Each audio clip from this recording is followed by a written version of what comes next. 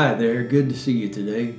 My name's Bob Ross. My good friends call me Alex. Thank you for joining me today for the joy of painting. So today, uh, starting out with my pre-stretched double prime canvas and I've covered it with a nice layer of liquid white to make it nice and wet. Nice and wet. So I thought today we try something new instead of those sissy landscapes. We might try some of those cool superheroes I see and uh, just really get our blood pumping. I mean, just can't contain ourselves. So, all right, so once you got your canvas wet there, if it ever starts to dry out, just throw on a Barry White CD and you're good to go. So, all right, here we go. All right, so first of all, we want to take a little of this back in black here. And what we want to do is load up our brush. So, like so, you just want to load up that brush, load it, load it, load it. The brush isn't the only thing that wants to be loaded right now. So, okay. All right, so we got it nice and loaded here. What we want to do, uh, starting in the corner here, just little, little figure fours. What we want to do, like that, just like touch, yeah, just like touch, just like that. Hmm. Keep working it, working it, working it. All right, just like something like that. All right. Yeah. Light touch, light touch. Two hairs and some hair, that's all you're looking for. All right. All right, I'm liking that. All right. Doesn't matter, it's your painting. It's your world, you do what you like. So, just keep working that like that, like that.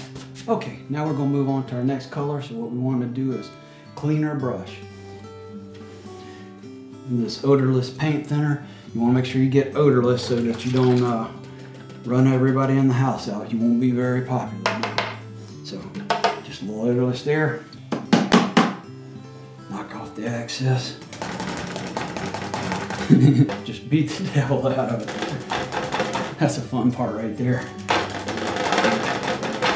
You want to beat it like you're 14 years old, mom and dad just left for a dinner date. Okay, all right, I think we're good there. All right, next we want to load up some of this Red Rocket Crimson on here. Just load that brush up. All right, and what we're going to do is come in, and what we want to do is work from dark to light. So, all right, just like that right there. Once again, you want to do little figure fours all the way across it here. Work it like that. Work it, baby. All right. Okay. All right, even though we're not done with this color, we're gonna wash our brush again because uh, I can just never get enough of that. So, all right, so we're gonna dip it back in our odorless paint thinner, knock off the accents, and just go to town. this, that's the fun part right there.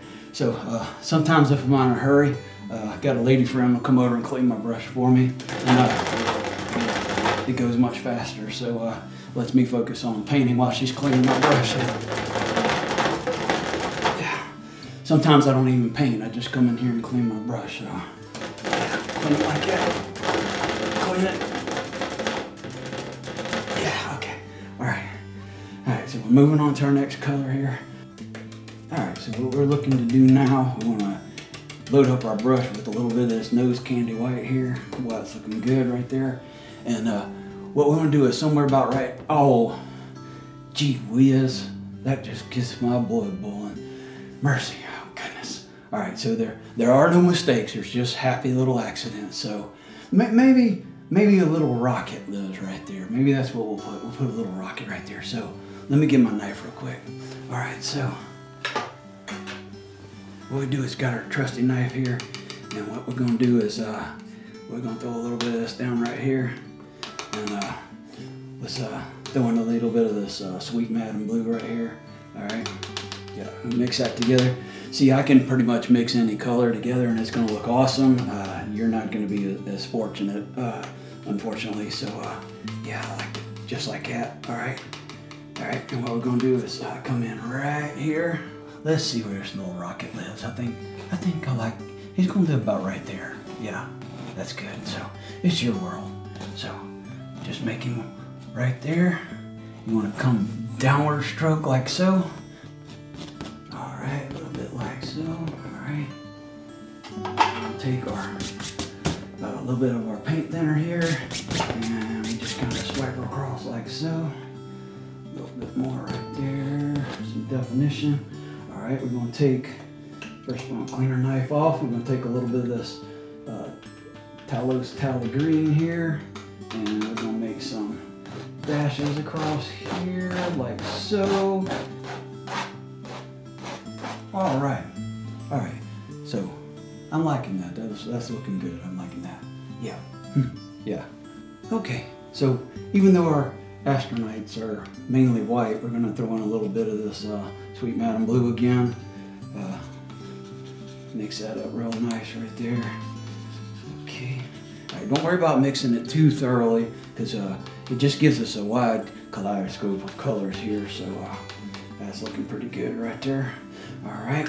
I'm gonna load up that brush again and uh, just keep making those circles. Keep making those circles. Once again, it's your world. You just find out where it lives and you just bring them into being. All right, I'm liking that there. Okay.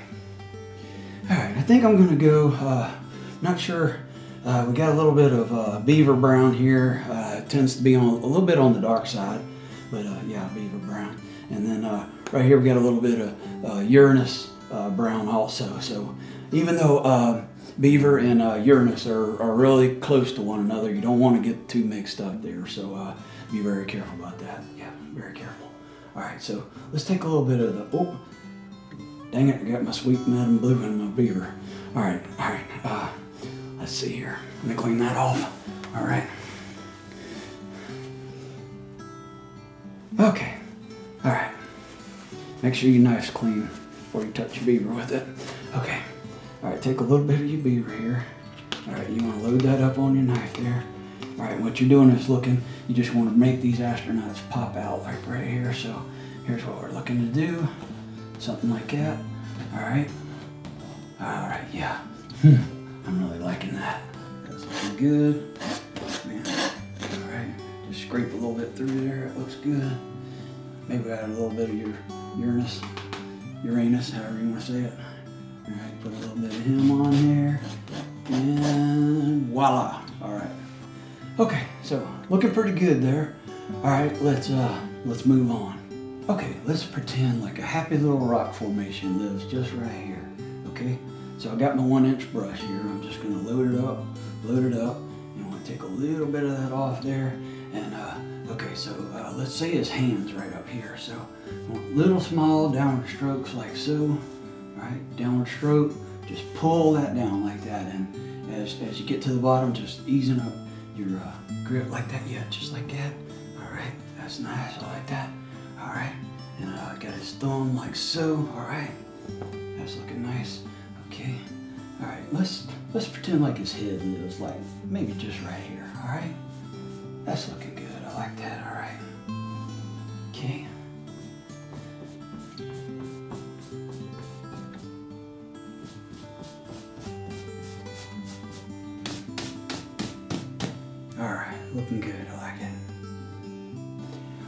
Give some definition to a rock here. It's just kind of not all there. So uh, let's go to uh, back in black again. And uh, okay, this is all in the wrist here. You just want to come across.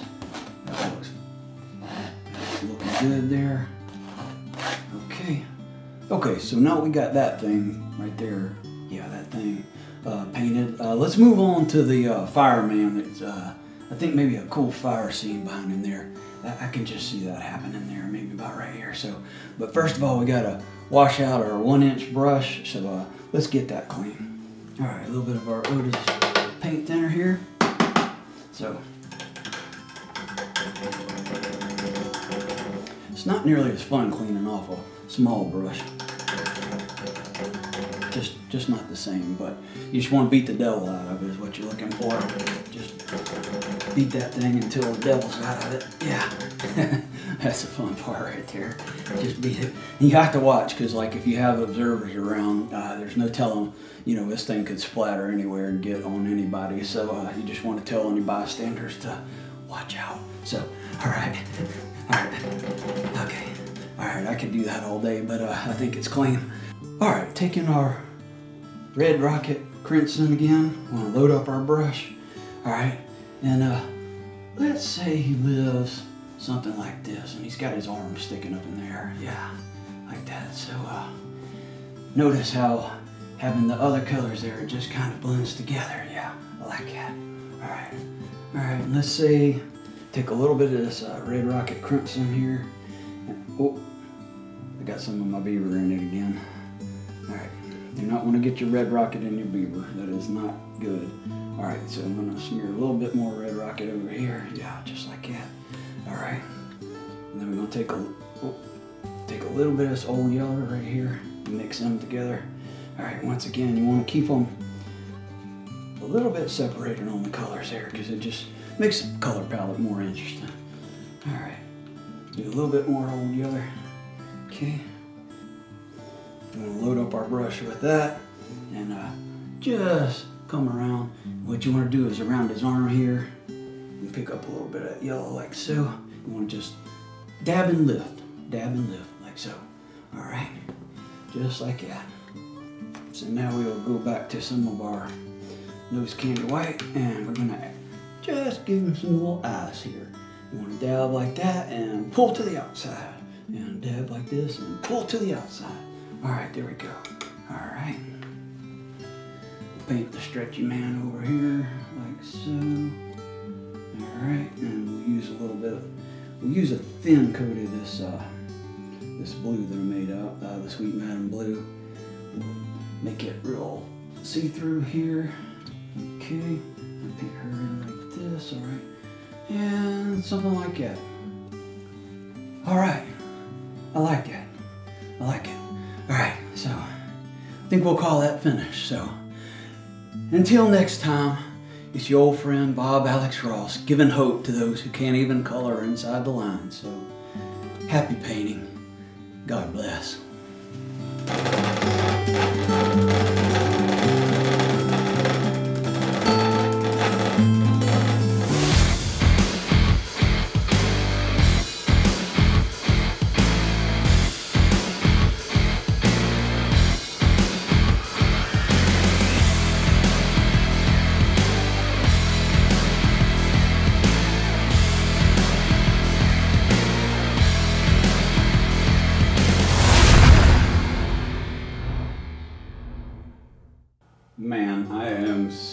Totally embarrassed. Uh, apparently, Alex Ross and Bob Ross are not the same person. So, uh, did a little bit of research. They are um, father and son, though, so that's not true either. But, uh, anyways, so here's a picture of Alex Ross, and uh, no, that's a joke also. So, uh, here is a picture of Alex Ross. that actually is Alex. Uh, just messing around, but uh, huge fan of his. Uh, you know an artist is special whenever you see a piece of art and you know it's them immediately just by the style. And uh, this painting, uh, Fantastic Four, is my childhood favorite, with the Thing being my favorite uh, character of my childhood. And uh, you may have seen my custom Thing review that I had. I love that piece. Not sure if I'm going to display this with that. Um, actually, display space is going to be a problem with this guy. Uh, actually may go on the closet door that's actually behind this drop backdrop that you currently see here, but um, I'll find a spot. But when I saw it on Sideshow, I was like, I got to have that.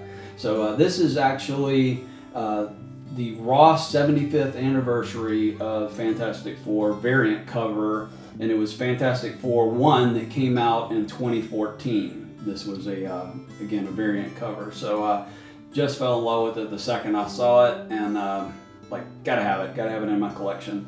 So uh, that uh, that uh, comic was written by James Robinson, and this art print is 200 pieces. I have number 168 out of 200, and it is signed by Alex himself. So that's very cool. Comes with the certificate of authenticity of the signature. So uh, just a really cool collectible and uh, one that I will proudly display in my collection. The piece is 17 by 24 if you get it framed with Sideshow's, that is a 21 by 29 uh, dimension for it. So uh, just outstanding. Um, love this print. Uh, of course, it depicts them uh, going up in, in the uh, rocket into space, which I just learned that they actually named that recently, and the name of the uh, rocket is actually Marvel 1. So pretty cool little tidbit there. So uh, depicts everything with their origin story from the gamma rays, and uh, then of course them after they become Mr. Fantastic, Sue Storm, Johnny Storm, and the Thing. So uh, very very cool piece, just exquisitely done, and uh, can't say enough about how perfect it is for what I would want in a uh, Fantastic Four piece. So hope you enjoy checking it out uh, recently just passed uh, actually one week ago today uh, was our one year anniversary for half-ass reviews. And there was much rejoicing. We just are right about the 1300 mark on uh, subs so uh, thank you all so much for the past year and support. Really really appreciate everyone. Hope you enjoy everything. Hope you got a laugh at my goofiness in the skit and um, just once again appreciate y'all watching. Y'all stay safe, take care, and if you're not doing it half-ass, you ain't doing it right, cue the logo slam in three, two,